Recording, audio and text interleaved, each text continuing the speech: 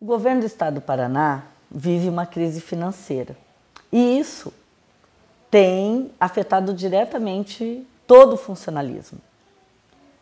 Todo o funcionalismo está com o terço de férias atrasado, com as promoções atrasadas, com as progressões atrasadas, com os quinquênios e anuênios, tudo em atraso.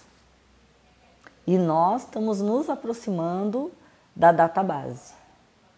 E você deve estar preocupado com isso. Com o que o governo te deve do passado e como que vai ser a nossa data base. Nós estamos preocupados com isso. E por isso nós estamos chamando um ato dos servidores da saúde no dia 28 de abril, terça-feira, para falar diretamente com o secretário que cuida das finanças do Estado, o secretário da Fazenda. Não aceitamos os calotes do governo, não aceitamos que a data base não seja cumprida, não aceitamos a desculpa que o governo vive uma crise financeira. Nós temos os nossos direitos e nós temos que exigi-los.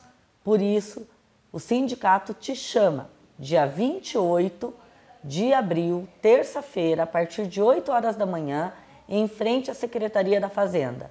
Vamos bater nossa panela, vamos pegar o nosso apito e vamos fazer barulho para que o secretário da Fazenda diga que tem sim database, diga qual é o prazo que ele vai pagar, tudo que ele nos deve. Exija o seu direito. Venha com a gente. Só a nossa união pode mudar o que a gente vive hoje.